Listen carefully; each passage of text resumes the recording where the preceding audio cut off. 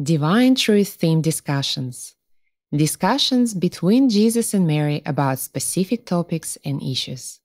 This is session 14, part 2 of the discussion God's Laws of Forgiveness and Repentance, where Jesus and Mary continue to discuss God's principles and laws of forgiveness and repentance, focusing on the role God has and how God is and can be involved in our personal processes of forgiveness and repentance. The session was recorded on the 17th of April 2018 from 10:30 a.m. in Wilkesdale, Queensland, Australia. Let's talk about how sincere prayer helps me to forgive and repent. Hmm. So, we've just been discussing these direct ways that God can interact with us and assist us in the forgiveness and repentance process through the conscience and through reception of God's love. Obviously, in order to receive God's love, we must engage with prayer. How does sincere prayer to God help me to forgive and repent? Well, you said in that introduction that, um, you know, obviously with, to receive God's love, we must have sincere prayer. But I think even to receive God's truth, you have to have receive, mm. sincere prayer eventually. Mm-hmm. You know, you have to get Yep. to the stage where you want the truth. Mm. And wanting something with a, with a pure desire is prayer. So you could say two steps. First step is wanting the truth, really from a pure desire. Hmm. Now, what I notice is a lot of people think they want the truth, but there's not much of a desire for it. You tell them the truth and they're all of a sudden angry. So, Yeah. you know, there's not a strong desire for it. The majority of people who are still enraged with me today are people who've come to me, who liked me, come to me, asked me for some personal help, and I told them the truth and they hate my guts after that. So mm. that's an indication that the sincere desire for truth is not there Yeah. right? So, so number one, sincere desire for truth. Now, what is sincere desire for anything? Well, it's a prayer Yeah. for that thing. Yeah. So, having a sincere desire for truth is a prayer for truth. Mm-hmm. Now, obviously, a prayer for truth that comes from our heart is going to help us remove the impediments to the conscience. Mm-hmm. Right? And remember, we said two, two, se- uh, questions ago that the conscience is the first way that God helps us directly. Yeah. So, so my having a sincere longing for truth, a prayer for truth, is going to help in this having a relationship with God through the through the conscience mechanism. Yeah. That's number one. The second thing is as you raised, and that is the prayer for love. What is prayer for love? It's a sincere desire for love Yes. right? Where you really want to have God's love in your life and you really want to also have other people's love in your life and you to love other people. Mm-hmm. A sincere desire to do it. What I observe is a, a lot of people give it a lot of lip service, but when it comes to relationships, they're only interested in addictions being met. Mm. And that is not a sincere desire for love. Yeah. So that's not a prayer for love. Yeah. That's a prayer for selfishness Yes. right? And it's not a prayer for love. Yeah. So, so prayer is obviously going to help me to forgive and repent mm. because, firstly, prayer for truth exposes the truth to me, and now mm-hmm. I can see around me clearly what I need to forgive and what I need to repent for. And then also a prayer for love, mm-hmm. having a sincere desire for God's love, a sincere longing for it, causes God's love to enter me. And this makes me more sensitive, as we've already discussed. Mm-hmm. So now I'm able to be more sensitive to when I've been unloving mm. and also when others have been unloving to me. Mm-hmm. So, so it's going to have a wonderful effect on me. The other thing it does, and, and this is the mechanism of prayer prayer opens your heart, it mm. softens you. It basically says, I want this thing. Yeah. And in desiring it from a heartfelt perspective, causes your heart to be open to receiving it. Mm. If you don't want something, you won't receive it. You've got to first want it mm-hmm. to receive it. Mm-hmm. And this applies to anything pretty much in your life. You know, you, as as the average person knows when they go out and buy a car, if they really want a car that they really want, they'll work out a way to get it, right? Mm-hmm, mm-hmm. and and if they really want uh, a relationship, they'll work out a way to get that relationship. You know, and unfortunately, many people do very many unloving things to do that. But desire drives the the result in mm-hmm. almost every case. if you don't want to build your own house, you won't ever build your own house. You Yeah. won't. Uh, If you don't want to, you know, go to another country, you never will. That's the reality. Yeah. You have to want it, and you have to want it enough that it's a desire inside of you, a pure desire inside of you, that you work towards it. That's what you've got to do. This is what prayer does. Prayer determines what you want, truly want in your heart. And the longing that you have for love and the longing you have for truth opens your heart to both love and truth. Hmm. This now makes you sensitive to both of those things. And in being more sensitive to both of those things, you now know when you sinned against those things. Yes. And it's a natural result of being, becoming more sensitive. Yeah. So prayer is an important part of open. It's your part that you play. So while we said God has this direct method of conscience and God has this direct method of giving you love, of course, both of those direct methods are very much determined. Their effectiveness is completely determined by the desires of your own soul. So without prayer, Yep. you're stuffed. really, you know, those desires will never be exercised, and and and never be um, engaged. So, without prayer, you basically are unable to sort the issues of truth out in your life, and you're unable to sort the issues of love out in your life. And what I see is the majority of people still do not engage prayer. Even the people who've been listening for years and years and years don't engage prayer daily. They don't engage a longing for truth and they don't engage a longing for love. So, you know, without those things happening, your, your heart's not going to be open and sensitive to the reception of those things. Mm. All right. Can I ask you some questions now, specifically about sincerity in prayer? Mm-hmm. So I agree with you, and I've been one of those people who, for many years, I just I knew I should long for love and truth. Yes. Most people who hear divine truth know they should. Well, and but there's a problem with the should. I came to learn. of course, of course. Um, but the fact that it, it's not, it wasn't an honest reflection of what was in my heart. And not an honest reflection of what's happening in your life. Yes. So, so true prayer will be demonstrated in the actions you take in your life. yes. So if your actions don't mirror the so-called longing you have, that's proof that the longing is non-existent. Yeah. Yeah. So what I used to do is lie down and go, well, I know I'm not sincere, so I'm not. I'm not even going to engage. So I'm not even going to bother crying. Yes. Yes. Yeah. uh, and so, really, this I'm asking you about the development of sincerity because there's this other thing that I can do, and which I do now, which is to open my heart to God because part of my resistance was about feeling like I don't even want to go near you. you know, um, I, I'm angry, is what I didn't want to feel. And so it seems to me that this development of a sincere longing, we must go through the development of a desire to feel what our real longings are, to fit and to engage with God in that process of the exploration of the real longings Yeah. in order for us to become sincere in a longing for love and truth. Yes, I, I think uh, I think that's almost self-evident, but obviously it's not for most people because that's not what I observe them doing. I, I really don't think it is. I think Yeah. it's very natural for you, but I really feel like when I hear um, when I hear people talking and when I first met you, this I would just have a sincere longing for truth. I just went, well, I'm too honest, so I would just go, I don't have one, so screw that, you know. but, but I see other people go, I will have a sincere desire for truth. Yeah, so they're I even in a facade about it. Yeah, well, maybe. I like don't I will have a sincere Yeah. desire for truth, but my whole life is showing me I don't have one.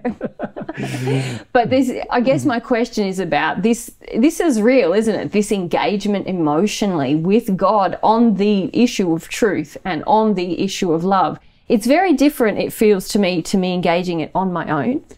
Yes, it's it's sort of like uh, well, I feel there's a number of aspects to what you're saying. The first, mm. the first thing is when we're honest, we are honest, and honest means being really honest about no, I don't have a desire, or mm-hmm. no, is it really that you don't have a desire, or are you just angry? Mm.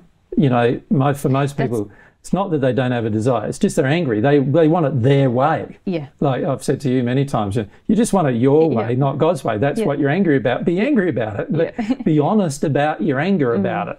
You know, be honest about the fact you want it your way, not God's way. You want love to be your way, not God's way. You want your addictions met. You don't want to have to do that God's way. Be, you need to be honest about that because Mm-hmm. unless you're honest about that, you're never going to have a sincere longing Mm. ever. Like you can you can think you have one, but you don't. Mm. Right? You've got to be honest about what's really going on in your relationship with God and what you really feel and how angry you really are, because the whole world is angry about God. Honestly, Yeah. you know, you, half the world doesn't want to believe in God, and the other half who does believe in God is still angry about God, Mm-hmm. Yeah. and they're still like frustrated with God and furious with God, and wonder why God does this to them, and God does that to them, and God's doing this, and God's a bastard anyway. Well, you know, Mm-hmm. yeah, yeah. even though they believe in God, so. Yeah. It's like every everybody on the planet almost is angry with God. Yeah. We talk about God in, in a seminar, and man, it's like switch off for most mm-hmm. people. In, instant switch off. Mm-hmm. As soon as you mention the word God, three letter word God is the is the you know one one word that most people just completely detune from. Yeah. That's all demonstration of the rage that exists, right? Uh, to, towards and about God. Mm-hmm. You've got to get real about that with God. Yes. Because if you don't get real about that with God, you're not sincere. And if you're not, if you're not sincere, you can't be sincere and mm. longing for something. Mm. Right. And and I also feel there's another aspect here where um, this sensitivity to pain through the operation of compensation that we've spoken about in the course of this series, mm. that had to reach a point for me where it, for me to develop enough sincerity. Like I could have a tantrum with God before then, but I, I'm very headstrong, as we often discuss, and stubborn. Um, and it took it's taken me a lot of years to really feel okay, God, I don't actually have this figured out. My life hurts and I hurt, and maybe I need to reassess my attitudes towards love and truth and do that with you rather than um, kind of blame you. Because, Yeah, what I feel most people do is they hear divine truth and they go, "Yeah, it all sounds real good, right?" Yeah. Um, and and they feel this uh, resonance with it in their soul generally. But but they not, don't get real about what's what they really feel. yeah, Uh, because uh, the world itself is tu- tuned us into believing that facade is what is is is the truth. You know, whatever your facade is is what you really are. Is what the world will accept. God doesn't accept your facade as real. You know, for, to God, it's just a figment of your imagination. you know, and uh, and oftentimes the imagination of your parents who who assisted you in creating it. Uh, It's just a, a total unreal perspective from God's from God's viewpoint. Yeah. So, so God's there looking at your facade, and you're saying, "Oh, I really would like to receive God." God's saying, "What a bunch of crap, really!" You know, like, no, you don't. Like, this is how you feel. Get honest with how you feel with me, then we might get somewhere. Is really, mm. and in, in a lot of ways, that's the same as a relationship, isn't it? If you really want to cure the ills in a relationship, yeah, each party has to get honest mm. with what they really feel. How much baggage there is, how much resentment there is, how much hatred there is, how much, how much you know, feelings of uh, like, um, like sadness there are about you know what's happened in the relationship. That uh, uh, you have to get real about all that and feel it. If you really want to you know work through the issues in a relationship most people don't do that, do they? What they do in their relationships is just totally zone out of that, totally cover it all over, try to suppress it for as long mm-hmm. as possible. And then when they can't, they spend less and less time together, but still say they're in a relationship. So they end up spending more time at work or more time with their mates or friends than they do even in a relationship mm-hmm. because there's too much pain for them to talk about in the relationship. And eventually the relationship obviously is just, even if they're still married after 50 years, it's not a very good marriage frequently, right? Or it's a com- complete opposite, a marriage of complete codependence and addiction, where nobody's really honest about how much they want the other person to meet their addictions and how much the other person has to do that. yeah, So, so these kind of things are not going to be acceptable to God, right? What and the same kind of relationship can't be engaged with. no, with, God. God, yeah. No. And and what prayer, sincere prayer does is opens your heart to seeing all that. Yeah. It helps you go, ah, wow, I'm really quite angry and frustrated, and I really feel that God's going to either reject me or, or God already has rejected Yeah. me. I- I'm angry with Him, or mm-hmm. you know, I I feel like God's a man and I hate men, or mm-hmm. God's a woman and I hate women, or Yeah. you know, God doesn't care or God doesn't exist. I'd rather believe God doesn't exist than deal with all the pain that I have about you mm-hmm. know the fact that God might exist and I just don't understand. You know, you've got so much stuff, mm. so much baggage about God that we're unwilling to get honest about. Mm. And obviously, the conscience is trying to help us, God through the conscience trying to help us, but we're not even willing to listen to a mm. lot of it because we're not willing to face the, the depth of the pain of it mm-hmm. frequently.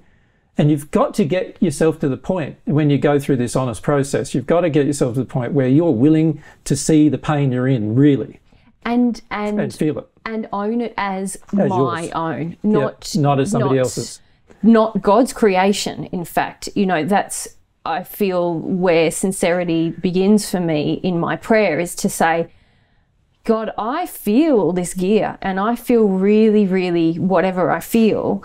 Um, I want to get to this place where I'm longing, but I'm not there yet, and I want to give up what is there. To me, you know? that conversation with God that comes from your heart is the start of getting to a place where you have some longing. yeah, If you don't get there, if, if, if people haven't been there, then they haven't even started yet. yeah, Right? That's the reality. You've got to get there. Yeah. And if you, if you can get there and start, then you'll start to feel the benefits of such honesty and openness with God. Mm. And God will also, because you have that prayer for truth now, mm-hmm. God now can share the truth with you. And, and that, that also helps you develop a longing for love, Mm. you know, sincere longing for love, rather than just something that's trite or, or, or you know, rote in terms of the way that we re- interact with- Yeah, with, and- God and others. Really. I, I guess I wanted to raise that here because we're talking about how sincere prayer helps me forgive and repent. And we've often, you've often spoken in previous discussions that all sincere prayer is answered by God. What I feel that I've done historically is sort of, it's like in now, I feel like there's this big, thick brick wall that between me and God, you know, mm-hmm. and all of that is my injury. Mm-hmm. And I would come up. And could you say, let's define your injury, it's like your injuries are also your false beliefs that you want to hold on to and believe are real, totally. as well as the emotional pain and suffering that you've experienced in the past and the memories that you feel you have and all these kind of things all mixed together, isn't it? That will is Yeah. a combination of all those things. Yeah, I suppose I think of the beliefs as the biggest thing blocking me from They God. are, but they are all uh, established through history of emotions that you've avoided. Yes, Yeah, or that you've been taught to avoid. Absolutely. Yeah, and so I guess um, you know I've been quite hard on myself historically, and and come up to the wall, if you like, to pray, and you know long to God, and uh, even in my most sincere moments, it, what I thought were most sincere, I I didn't feel that response of love from God, and so I went away from the wall and thought. I've got to deal with all that baggage with God. And then once that's gone, I know sincere prayer is going to be answered, and then I'll have this connection with God. And this new process feels to me very sincere and it seems to be prayerful, but I'm not yet receiving love. But it is, God, I'm here at this wall. You are receiving truth though. Yes, that's true. So, you know, the first part of that mechanism has begun. Yeah, The mechanism of, ah, now, because I'm now getting honest yeah, about what's inside of me, about God and about, you know, the things that I feel angry about with God and so forth, now I'm being honest about it. Now the truth is being received mm. through your conscience. So now you're mm. getting truth very, very rapidly now. Mm. Like, you know, yesterday you were saying how, you know, just hundreds of different things Yeah. came to you in the moment in the course of a day. And that and that is what is going to be the first thing that happens. You know, the truth, there were all this truth about, oh, I see this and I see you've done that and I see you've done this and see others have done that. And it's all very clear, it becomes very clear very rapidly. Yes, and I suppose I wanted to say that in encouragement for our viewers because it took a lot of pain out here in my life in my self reliance, uh, in compensatory pain, hmm. for me to really come to the wall and go, okay, God, I've got some stuff here. I'm. I want to give it up now. But man, there's a lot of stuff and it's angry and it's sad and it's fearful and all these things. But I'm going to do it with you in the I want discussing it with to you. keep looking at you almost through the wall, hmm. discussing it with you to get through this wall rather than me hmm. coming up to the wall and saying, well, I'm not receiving love. I'll go back to my life and try and figure out this mess through all the the compensation whole- and the laws and the. And can I say the whole, oh, I'm not receiving love, so I'm just going to go back to that whole idea is anger. It's all rage anyway. So Which I directed sometimes outwardly, but sometimes, sometimes at yourself. myself a lot. Yeah, sometimes at yourself, sometimes outwardly, but it's still rage. Yeah. And and it obviously isn't sincerity when we're enraged because in rage rage is all about control. Mm. It's all about holding on to beliefs that we don't want Mm. to confront and let go of and so forth. So so even our passive aggressiveness is is really our rage being Mm. expressed in different ways. Mm-hmm. And we have a huge amount of passive aggressiveness with God that we need to address and we need to get sincere about it. Yeah. And and when we get sincere about it, the very first thing that flows is truth. Because now our conscience mechanism has the ability to operate. God's now saying, "Oh, I can respond to this desire in the person." You know, I'm going to pump some things through this conscience mechanism. Poo, poo, poo, you know, some truths come through very rapidly, Yeah. and then we have a decision of what to do about them. Of course, the second stage of that is opening our pr- prayer opens our heart sensitivity, sensitively to emotion. Hmm. So, so we now start feeling as well as a subsequent result. Hmm. So we'll feel more. Hmm. And as we feel more, we now are in a stronger state to have a heartfelt feeling for God. Yeah. So, you know, it all helps. The process is a seamless sort of a process if we engage it. Mm. But that's not what generally happens. What generally happens is most people, you know, try the try it rote, mm. you know, thing from the mind or the thing from their facade.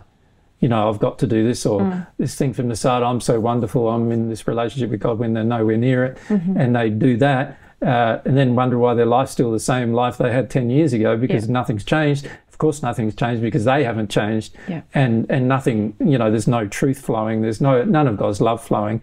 And, and so now the law is going to pummel them into submission, basically, mm, you know, along with some help that God can give through external parties and so forth, if they ever listen to it. But people in that state generally don't Yeah. listen to that either. Yeah. So, you know, basically, in the end of the day, it's just the law that's going to hammer you to hammer you into submission. You know, Yeah. that's all you con- consign. Your, your whole life is now consigned to just response to law, response Mm. to law, and usually to the law you broke Yeah. or tried to break, you know, so it's going to be quite painful.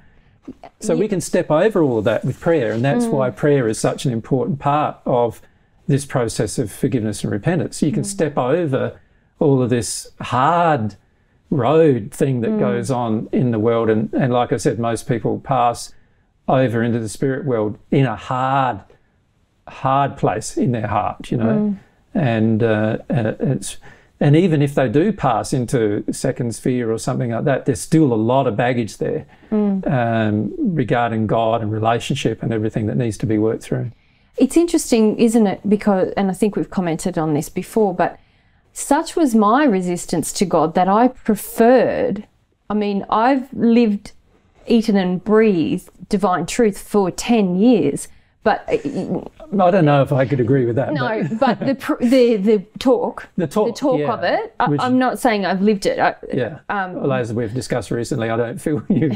You know, I only feel recently you've become to live it. It's like- Th- sorry, that was going to be my point. Hmm. Is that I've, you know, I've been imbibing this stuff intellectually and also examining God's laws very closely and examining truth again intellectually and trying to figure everything out in a self-reliant way. And you've said that that is quite um, well, it's driven by fear. yes, but that's the very painful way to do it. Yeah. But such has been my resistance to engaging with sincere prayer. Yeah. And that must be the same Oh, for like the I see that over, in everybody. Yeah. Like, like which is fascinating, isn't it, in Yeah. itself? That Yeah, it's shows like- us how much resistance we have to God. Yeah, you'd rather sit down and spend years and years of your life analysing something than you Yes. would actually go through a process that involves emotion Yes. that is sincere and truthful. Yes. And and uh, like I almost see everybody's like that. I, Like I don't know if there's anybody I've met that isn't like that.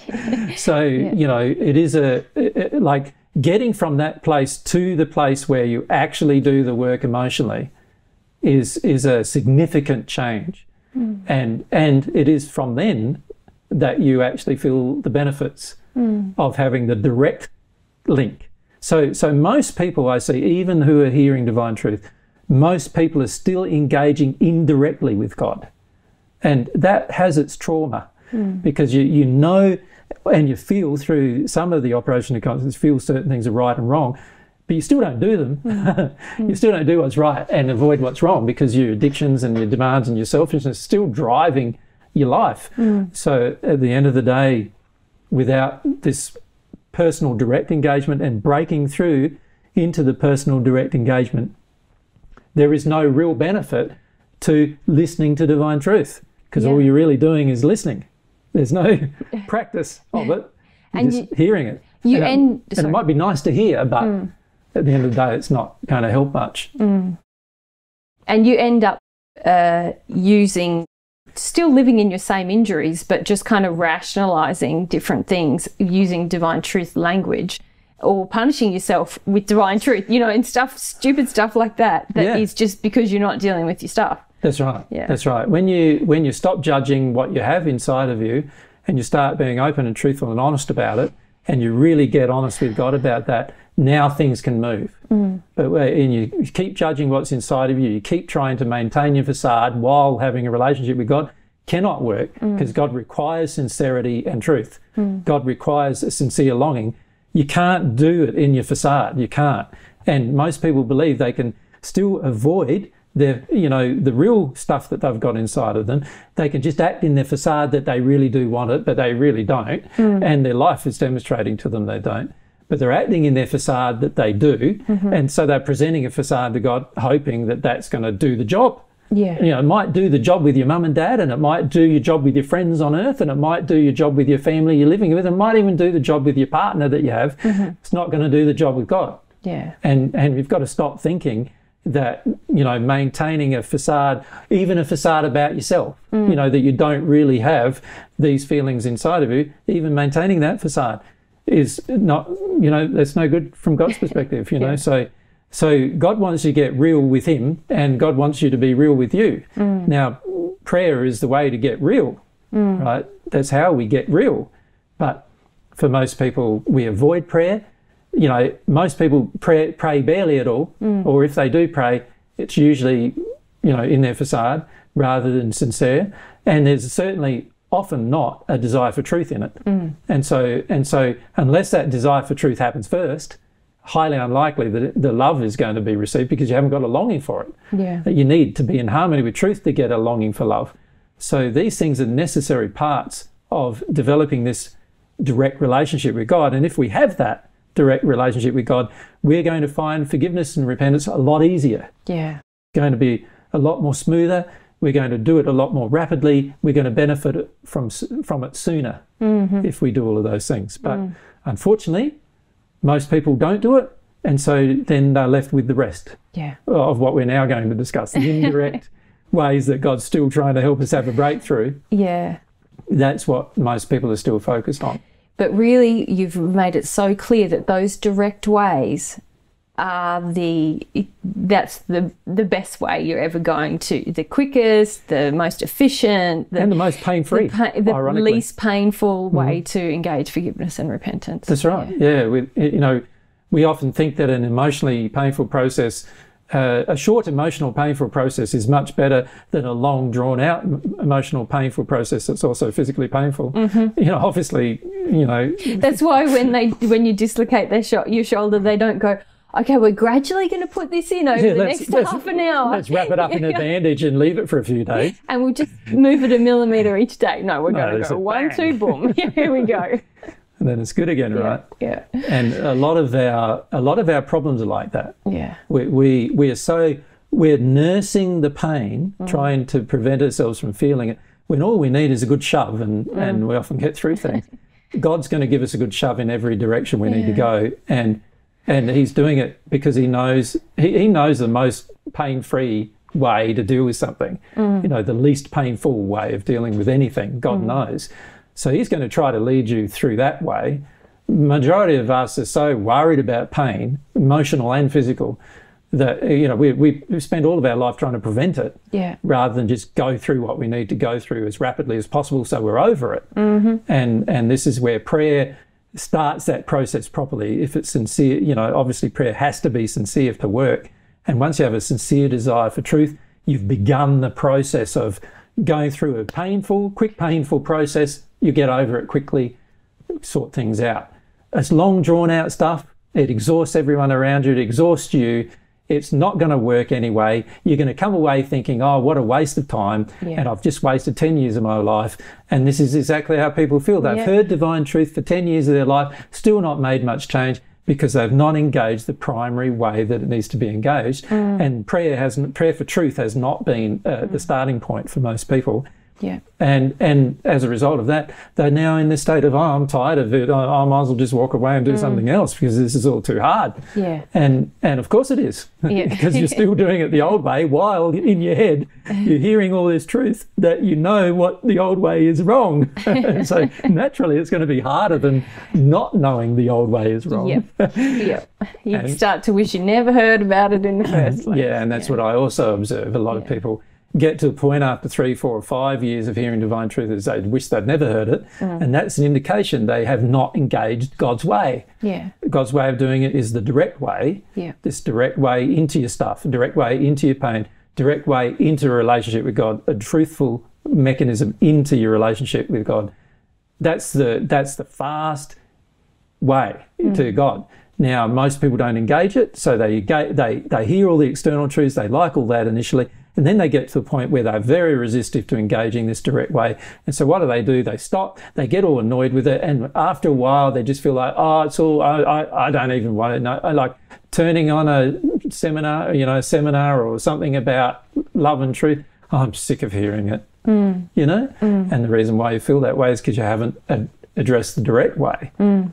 you know when you address the direct way you stay enthusiastic for truth because it's wonderful and it's helping your life and you feel all the benefits every day of doing it.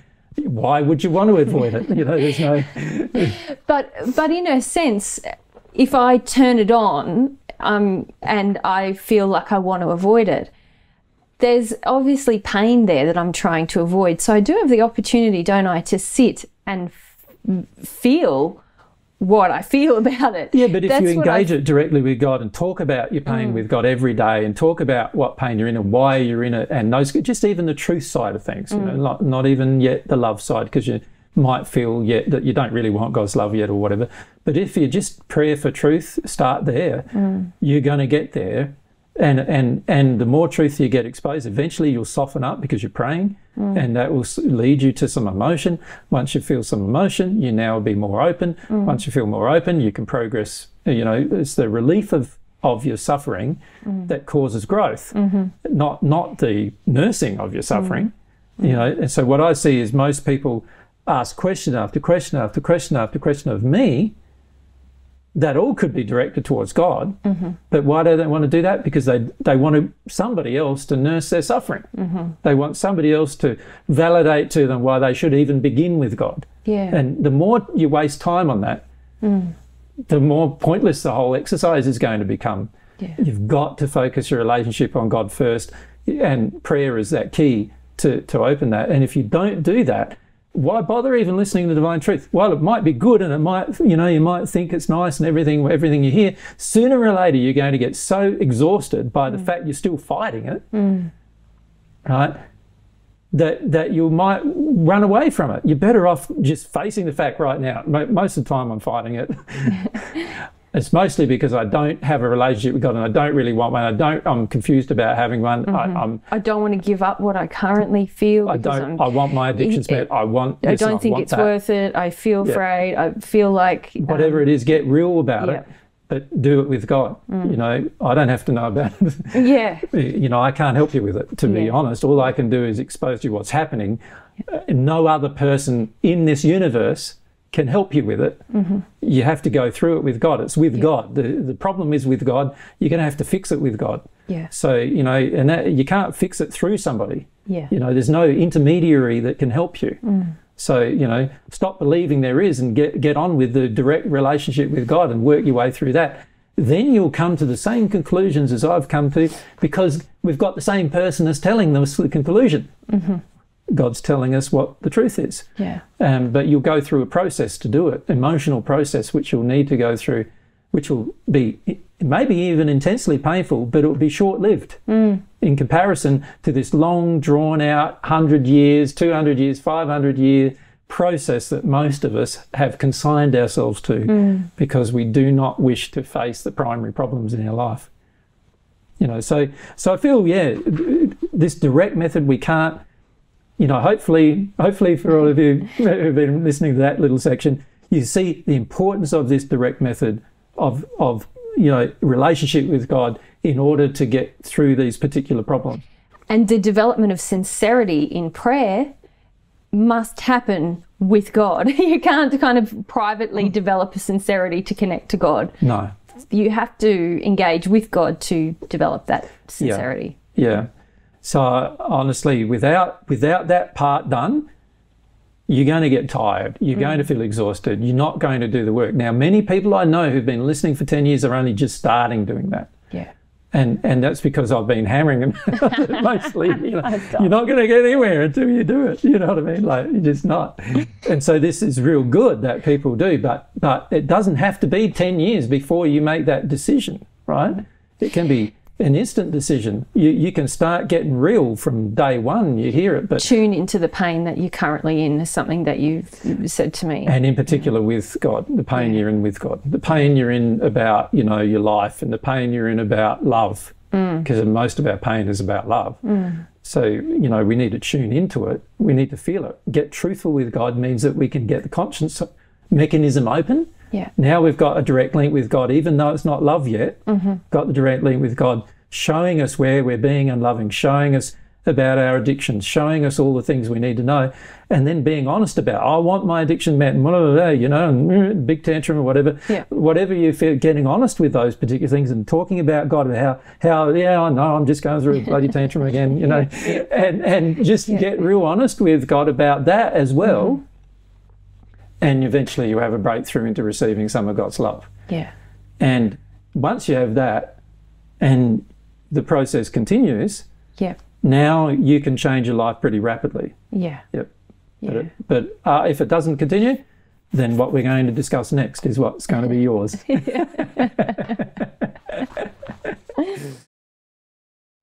Let's move on now then to how God directs others to assist me in the process of forgiveness and repentance. Hmm. So we've spoken now about the direct ways.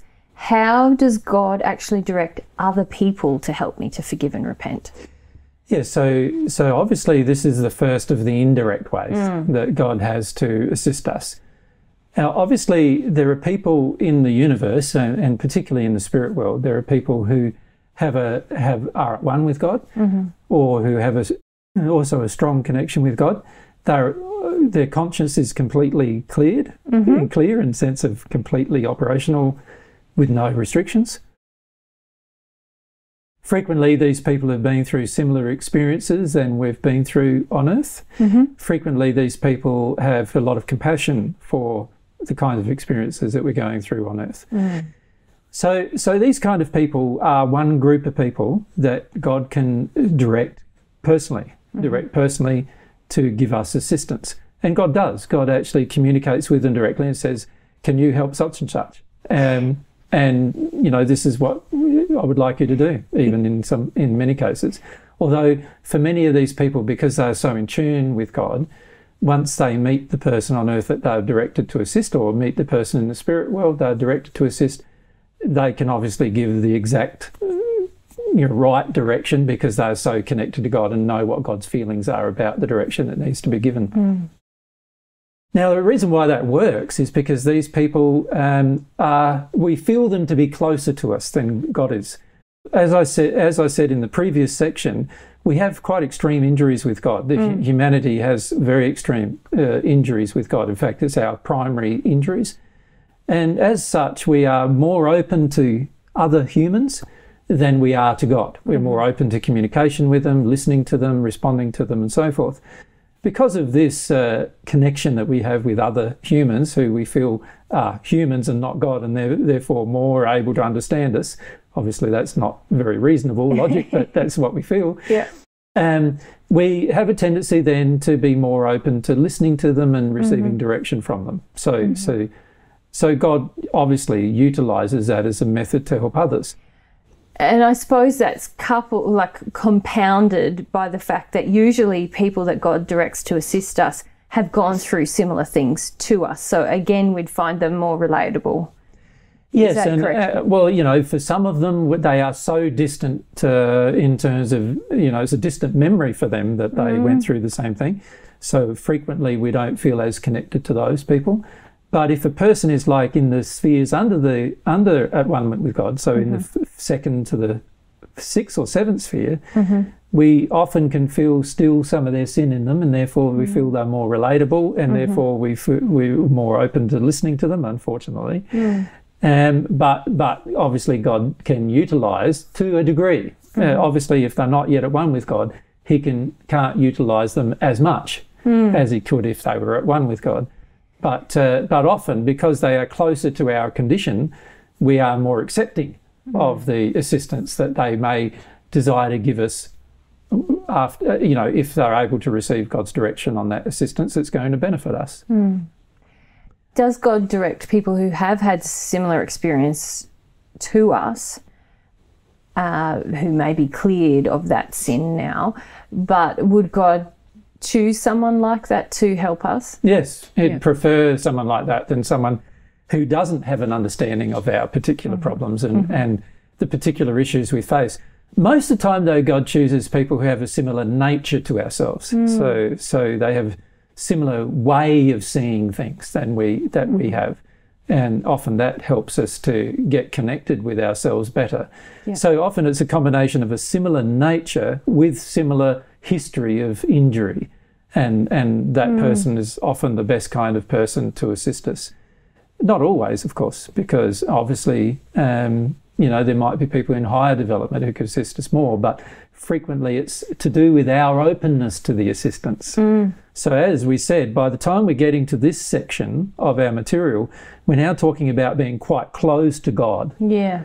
But being still open to humans. Yes. So, you know, by now we're getting to this sort of state in the middle, if you like, where we're really not uh, strongly desirous of a relationship with God, but we do wish to have some form of progress or some form of improvement in our condition, some form of improvement in our life.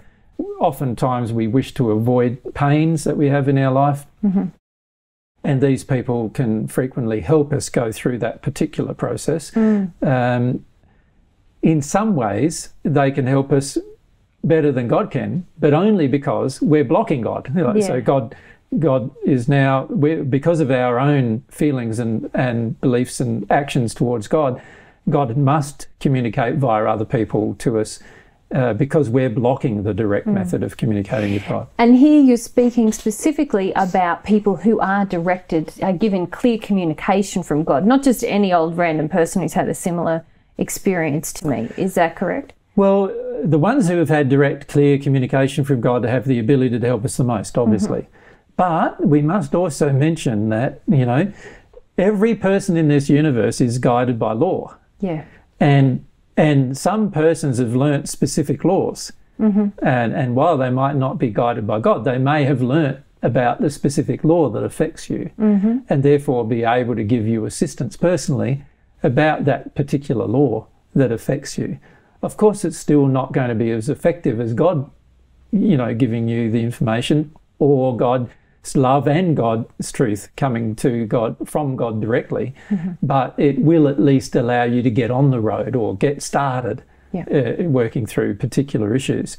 So, so these are methods that God is using because He can't have a personal mm-hmm. relationship with you because you're preclude you're precluding it, you're stopping it, mm-hmm. And uh, and so God's got to engage these other methods because remember, God still wants a personal relationship with you, even even though you may not want one with God. Yeah. Uh, God still would like to have one with you.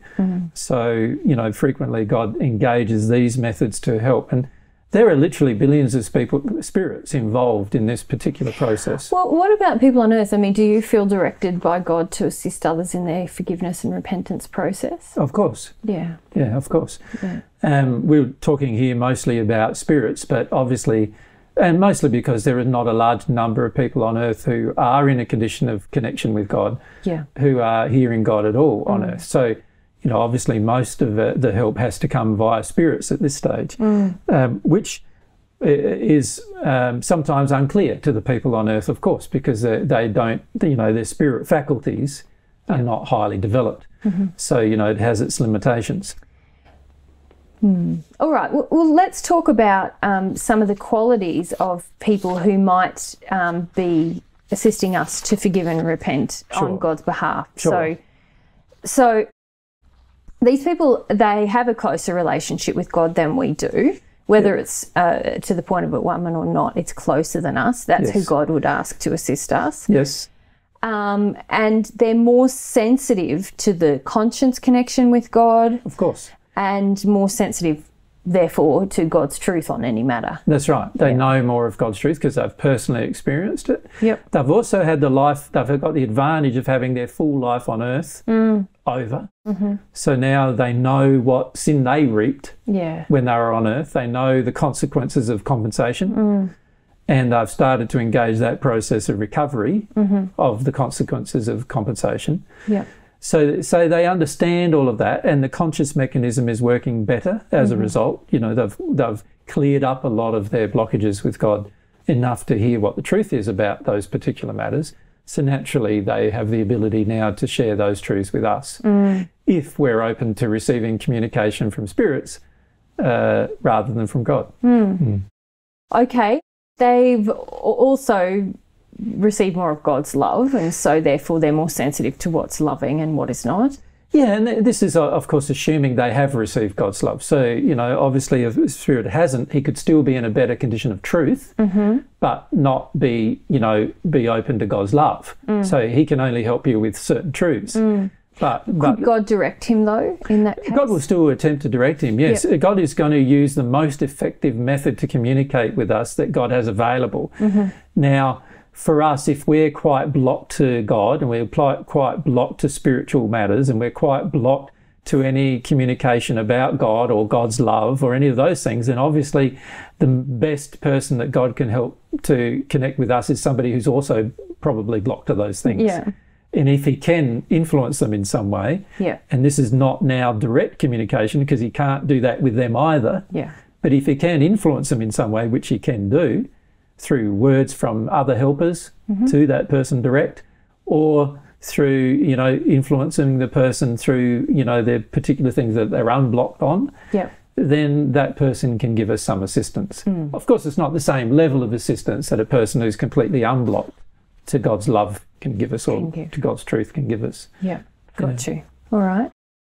Um, okay. Uh, we have written here that they're able to listen to God's voice via the conscience and therefore are able to recognize and respond to God's soul based request to help another. So you've kind of said that that may or may not be occurring. Yeah, well, uh, um, any person who's progressed even to the third sphere or the fourth sphere, but they haven't progressed with God, is still more open to the mechanism of the conscience. And the reason why they're more open is because they're in a state of closer, they're closer to the truths about ethics and morality than we are. Uh, you know, people generally on earth are. Yeah. So, so what that means then is that those particular truths that they have discovered and understand can now be shared with us, even though they may not be uh, understand that those truths are God's truths. Yep. They can still share us the truths as if they are the scientific truths of the universe, which can help us still progress. Yep. Yep. So, so of course they can still help us. Yeah. Yeah. yeah. And finally, we had that they are able to communicate with us using physical methods that we're more open to responding to. So, Yes. does that work even in a spirit sense? Well, yeah, you could say the spirit body is a physical creation. Yeah. Uh, you know, I know people refer to it as metaphysical, but it is a physical creation. Mm-hmm. Also, we have a spirit body, even when we're on earth in the physical form, we have a spirit body. So now there can be spirit to spirit communication instead of soul to soul communication. So all communication with God is soul to soul, but all communication from spirits that are not yet connected to God is often a mixture of either some soul to soul, but also mostly some mind to mind communication. So they, they can actually now communicate with our spirit body's mind, which now can be it can you know cause thoughts to appear inside of your own mind. And uh, and that can obviously help you sometimes if you particularly if you're in the process of doing something and all of a sudden you get some communication about it that's mm. enlightening that's some truth about it that can obviously help us to mm. make some shifts in, in the way that we see things particularly when it comes to what we need to be forgiving for or what we need to repent for. Mm. So so these are all methods that god has this indirect method Yes. of of get, helping us. And also, God will influence people on earth, physical mm-hmm. people, which also have a voice now that they can communicate to our hearing. Yes. So that that's obviously another way that, uh, and it's even often more effective if God can do that, influence a person to speak with you directly about a truth.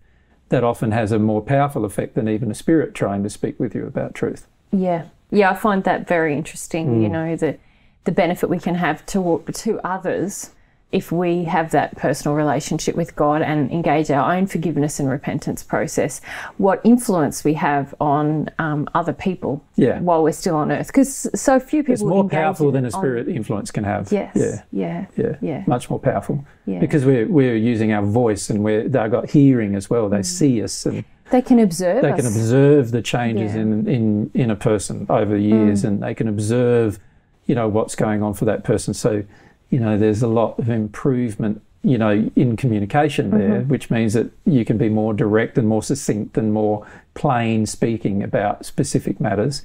And that obviously also has the ability to help a person get to a point of forgiving and repenting.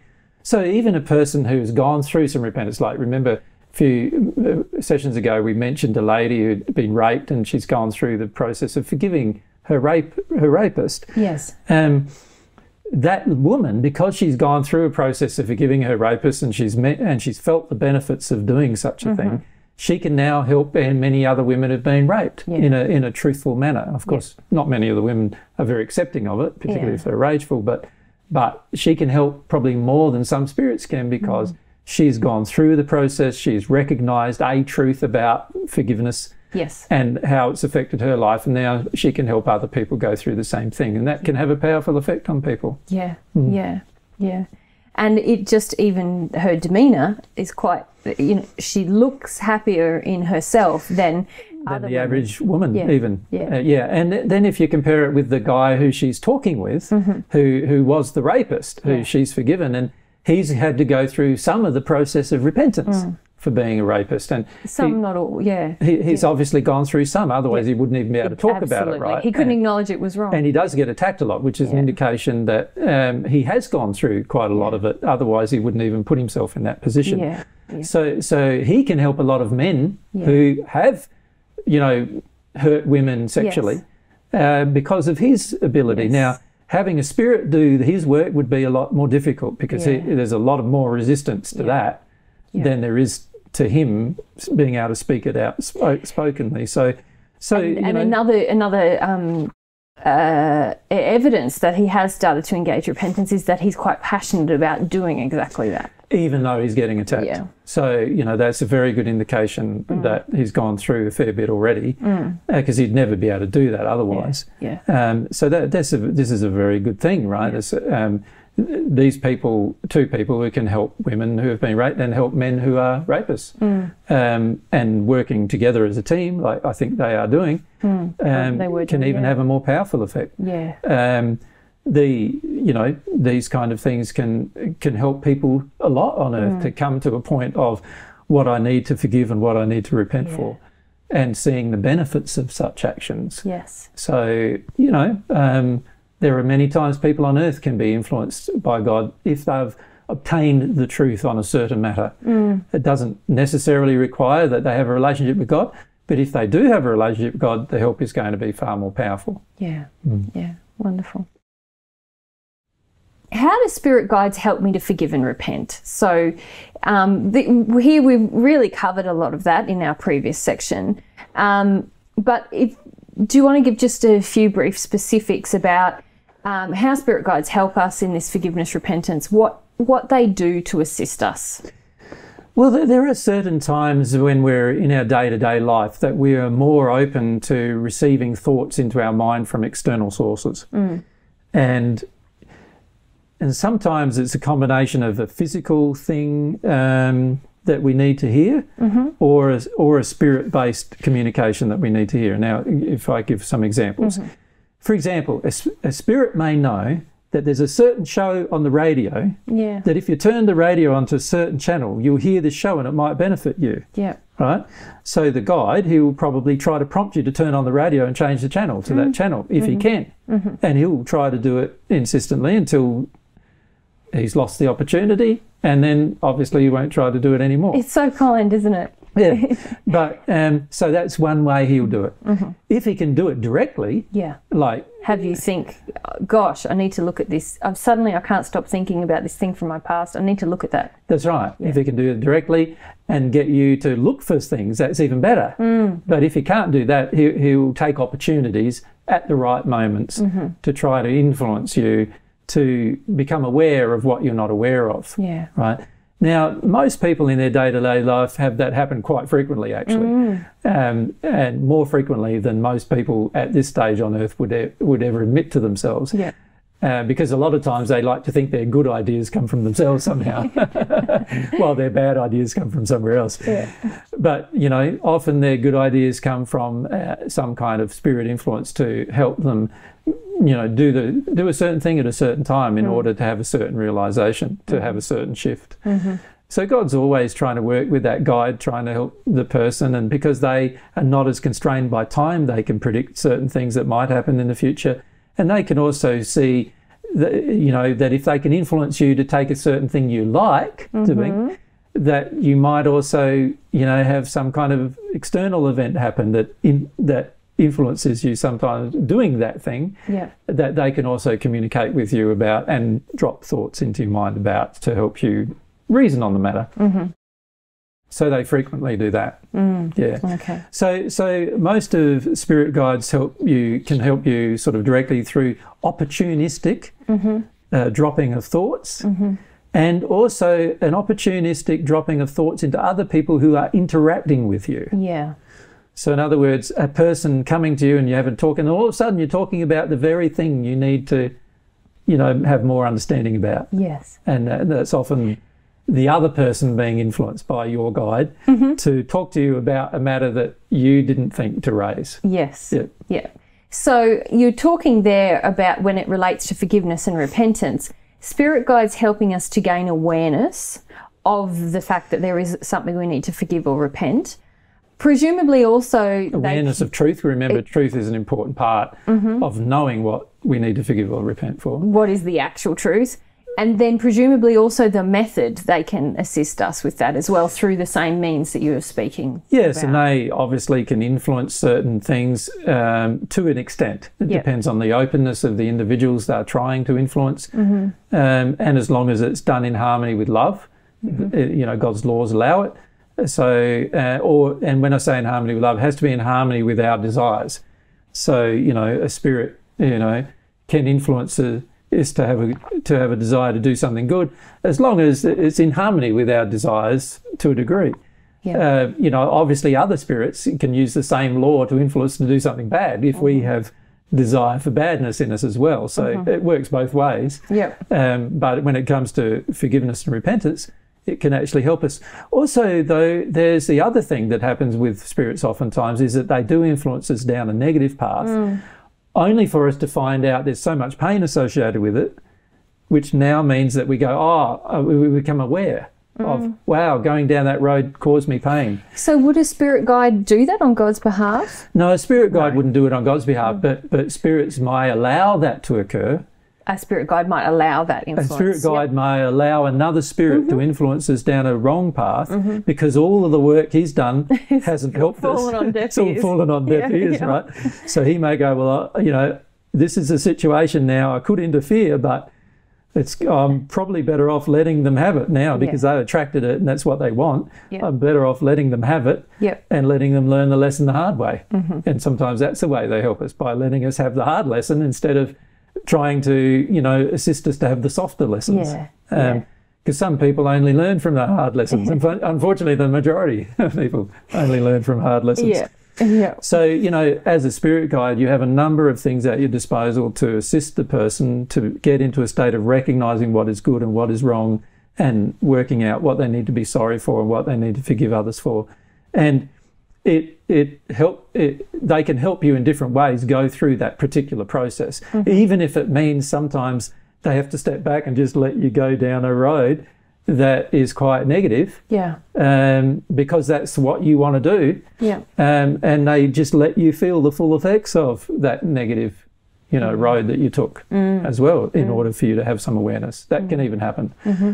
But they'll do whatever they can. Obviously, they'll do the most loving things they can do first, and and then then of course they have to step back and let the unloving desires you have take control and see where that takes you and see whether that's going to cause you any And change. kind of be there to help you at, when you finally become more receptive. Yeah, or- so yeah. as soon as you become open that this is a bad thing, bang, they'll be there saying, Yeah. yes, you know, this is because this happened and you chose this because of this particular desire you have and so forth. Hmm. So they'll often do that, you know, they'll often show you what the cause of the problem is when you're open to receiving it, if Yeah. you're open to receiving it. Yeah. Yeah. Yeah.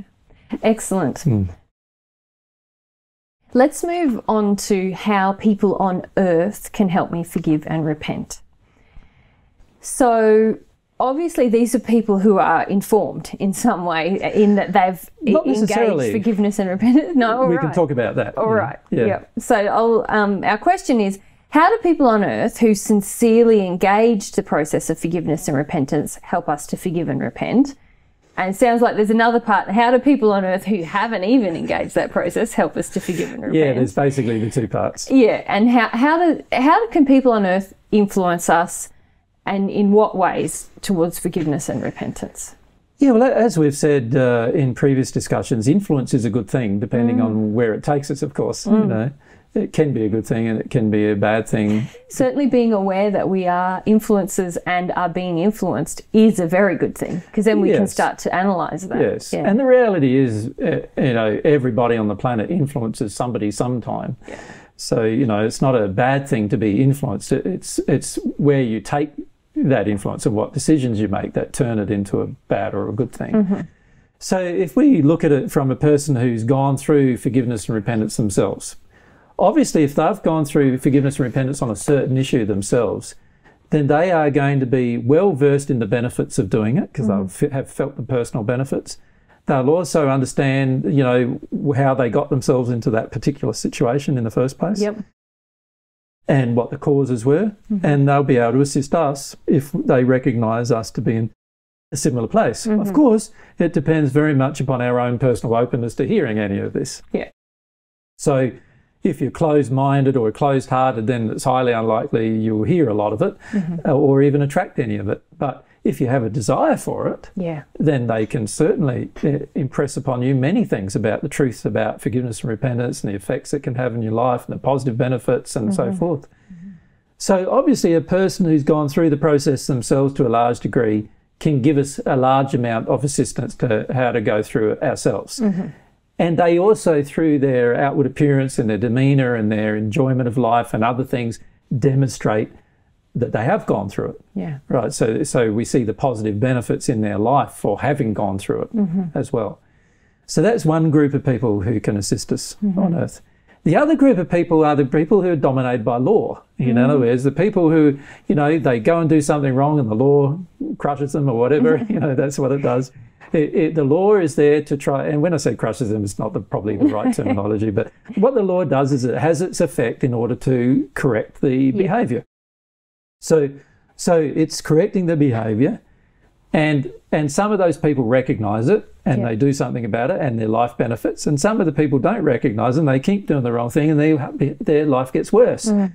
through observation. If we're a third party observing, I see. Yeah. you can see, oh yeah, a person who drinks too much, what happens to his life? Mm. A person who takes too much drugs, what happens to his life? Yeah. A person who rapes another person, what happens to his life? A person who, you Mm-hmm. Even know, a person who has an affair or embezzles money or Goes to their war. kids or goes to war. what happens to their life? Yeah. We can see, ah, that's what happens to their life. So there must be something not good in it, Mm. right? We can at least see there's certain things that are not good.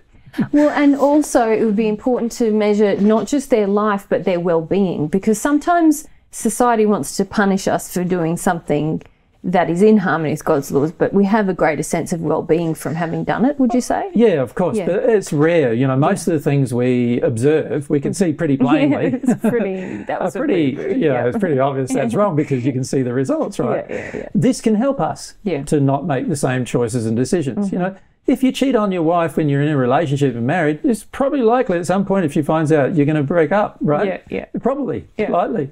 Yeah. You know, if you want to, if you say you love your wife and you love your children, it's probably not a good thing to do. You need to fix whatever is going on with your wife, right? That would be better.